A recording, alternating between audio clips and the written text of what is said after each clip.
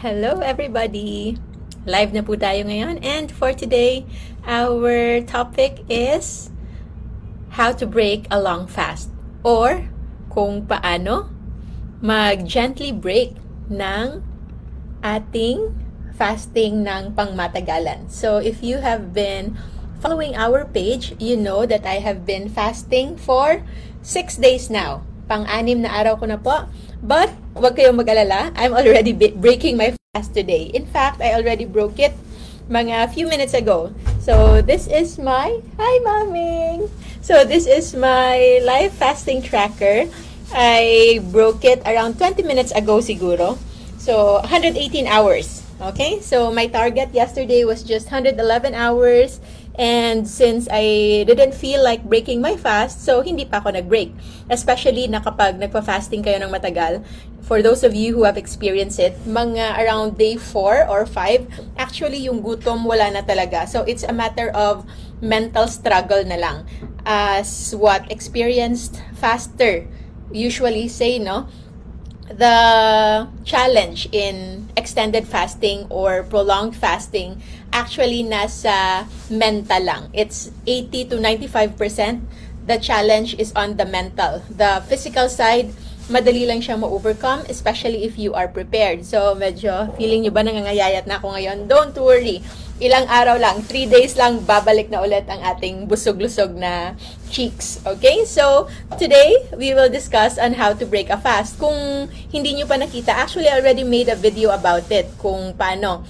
You can search on YouTube, how to break a fast. And then, you write my name afterwards, lalabas yan. But to recap, para sa mga baguhan pa lang, for those of you na ngayon pa lang nag-follow sa ating page, Uh, baka hindi nyo pa alam that I've already made tons of videos. Sobrang dami na po. Baka nauumay na kayo sa pagmumukha ko. Anyway, number one rule in breaking a fast, wag na wag itong i-break ng something very solid and also very high in sugar. Yung mga nakakapag-spike ng insulin. Why? Because when you are fasting for so long, or kahit nga one day fasting lang eh, especially if it's your first time, your body is so sensitive to insulin. So, ayaw nating magkaroon kayo ng some degree of refeeding syndrome. Okay? Yung refeeding syndrome, isa yan sa mga complications ng mga taong nagpa-fasting at hindi nila ginawa yung tamang breaking a fast protocol, yung proper breakfast protocol. So, in general, it's best na magsimula muna sa something that's very light, okay? Especially if you are doing like water fasting, na very clean water fasting. So, you can start with something watery pa din, pero meron na siyang kakaunting calories. An ideal would be bone broth. Okay? So, ano yung bone broth? Sabaw. Sabaw ng nilaga. Hopefully, kayo yung gumawa para walang cornstarch, walang extenders, walang kahit anong halo. Just pure bone broth. Okay? If you want to know kung ano yung recipe ng bone broth, actually yung ginawa ng iba is just ano, yung chicken backbone, yung chicken backbone para walang kontra sa kahit anong religion.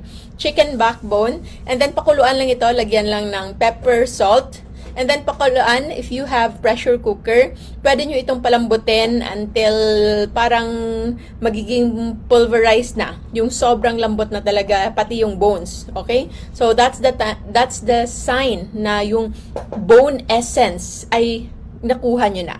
So, sometimes, yung ginagawa ng iba, they prepare like 3 kilos of that, tapos sa uh, malaking kalawang.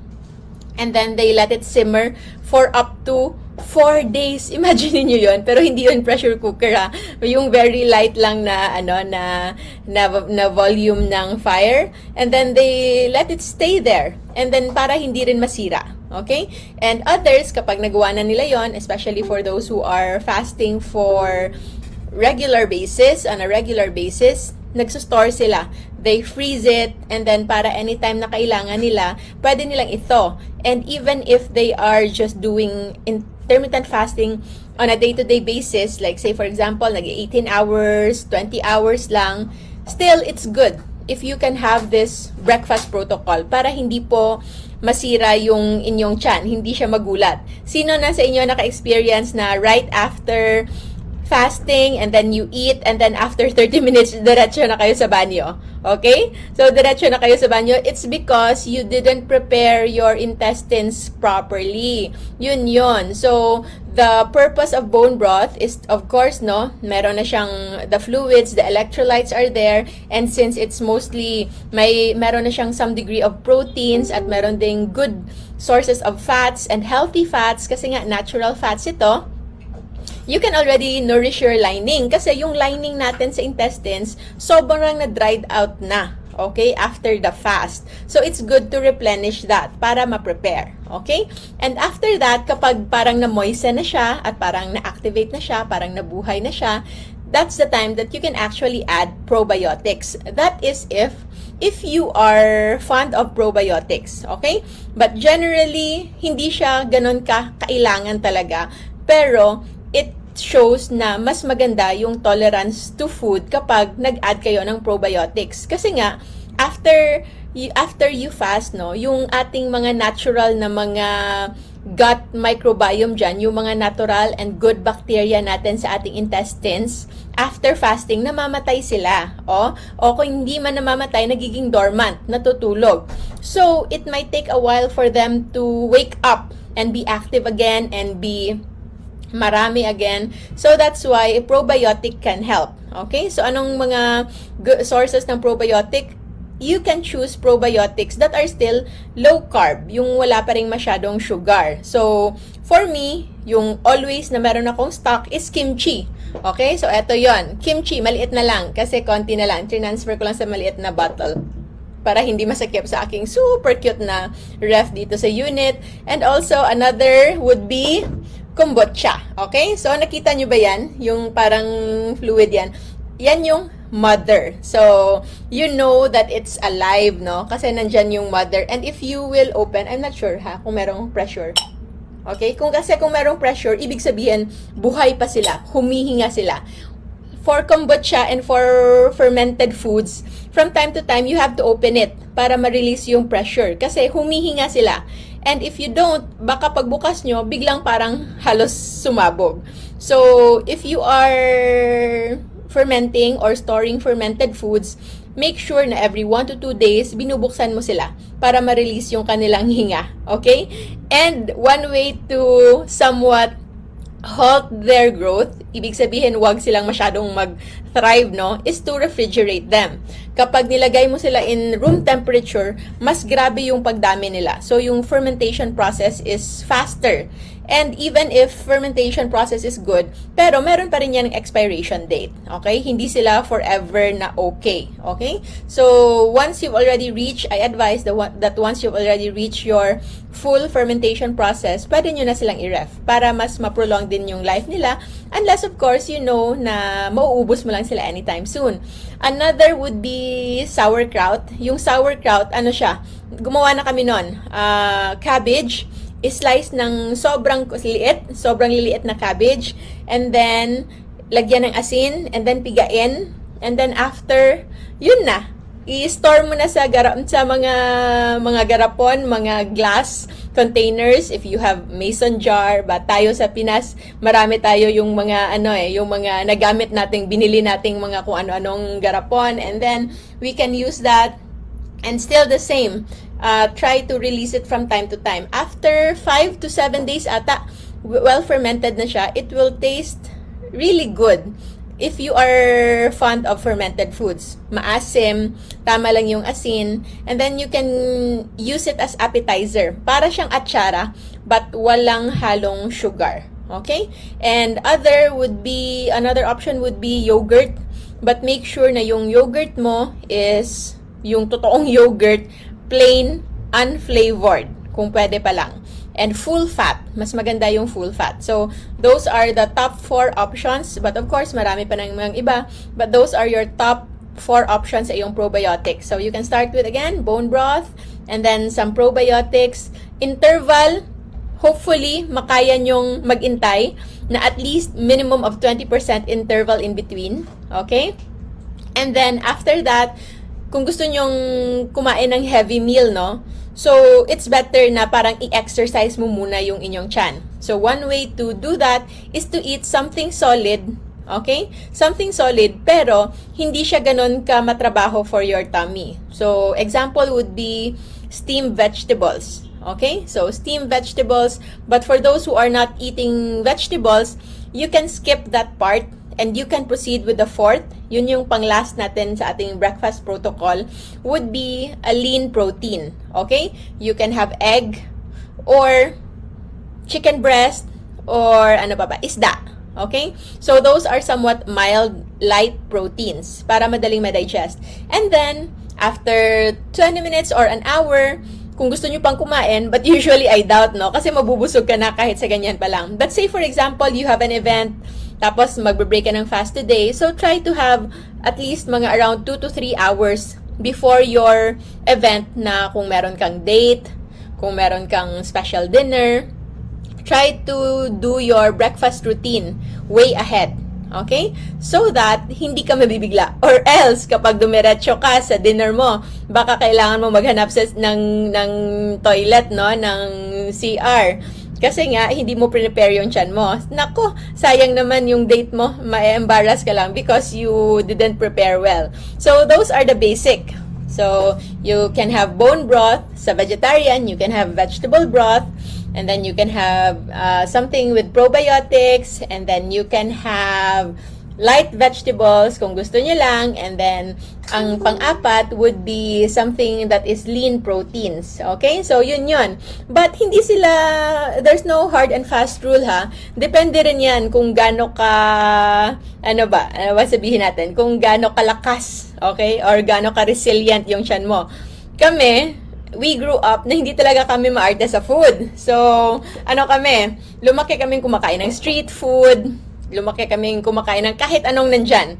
Except lang siguro sa mga ano ba, yung tawag namin doon, hardcore vegetables, yung yung okra, talong, ampalaya, ano pa nga, Ming? Ano pa nga yung mga hardcore vegetables? Kalabasa before. Kalabasa. So, tawag namin doon, nung maliit pa kami, mga hardcore vegetables. Hindi kami kumakain nun. But, so, yung amin, yung mga, ano lang, malunggay, pechay, cabbage, lettuce, and yung mga dahon-dahon lang. But, all the others, yung mga hardcore vegetables, hindi kami kumakain nun. And, after that the rest of the food, hindi talaga kami ma- maarte. Okay? So, malakas yung tiyan namin. And so, that's also the reason why hindi namin usually nafa-follow talaga, especially if hindi available yung ideal breakfast protocol after a long fast. So, we do some modifications. Like, as for me, since wala naman akong bone broth dito o wala namang akong kung ano-anong na-prepare dito, wala nga akong fresh produce dito. So, I uh, sum up this one to break my fast with some fluid, still protein rich, walang sugar, and still makaka-digest, makakabigay sa akin ng feeling effect Okay? Pero hindi mabibigla yung chan ko. So, alam mo ba kung ano? Ito yung ano, hinahawakan ko. So, this is a an isolated whey protein. So, eto siya. Pero bakit may ganyan? Kasi hindi ko talaga matake yung whey protein na ano lang, na, na pure. So, I put, kasi and the sweetener that it used, sobrang tamis. So, I have to put cocoa, pure cocoa, para merong pait at para ma-neutralize. And since ayoko rin ng parang halos walang lasa. So, nilagyan ko ng cream cheese para ito yung parang pang milk ko. So, ito siya. So, I finished. Hindi siya puno kanina ha. Nandito lang siya. So, kalahati pa lang yung naiinom ko. And then later maybe I will have kombucha siguro. Mas, mas, ano, mas lighter for my tummy yung kombucha than kimchi. I think I'll reserve kimchi later for my next meal. Maming is here and we will eat. At kakainin ko na yung niluto ko last time na cheesecake and at kung ano-ano pa. So, yun yung gist of how to gently break a fast after a long fast. Okay? So hello to our admins and our and my brother Alvin. At alam nyo ba, meron akong in-order sa Grab at tumatawag na siya. Tumatawag na yung Grab, so meron akong in-order na food doon, so kailangan ko nang bumaba. Because this is a happy day to eat. So I hope you will also eat kung meron kayong tanong, we will get back to you. But generally, yun yung general rules when it comes to when it comes to breaking a fast. Don't ever, general rule, don't ever break it with carbohydrates na mataas sa sugar. If ever you break it with carbohydrates, at least vegetables, okay? Kung sa fruits, piliin yung hindi matamis, okay? And the deadliest combination that you will do, yung carbohydrates with fats. Okay? So, please don't do that. Na-mention na natin yan last time, if you suddenly eat carbs after you have a long fast, baka himatayin kayo with a sudden rush of of glucose coming inside your cells. So, yun lang muna for now. I'll see you again on our next video. Maraming salamat po. Kakain na po ako and I hope you will also have a sumptuous and happy meal with your loved ones or with yourself. It's okay. Remember to stay low carb so that we all stay safe. Maraming salamat po. Or wait, si Maming. Pakita natin si Maming. Ming! Come here! I know gusto niyo makita si Maming. So, pakita ko muna si Maming. Okay, sandali lang. Maming, pakita ko muna sa inyo si I know mahal niyo si Maming eh. And it, i-replyan ko muna yung grab. Kasi nga, nandun, nandyan na ba siya? Let's see, let's see. Okay.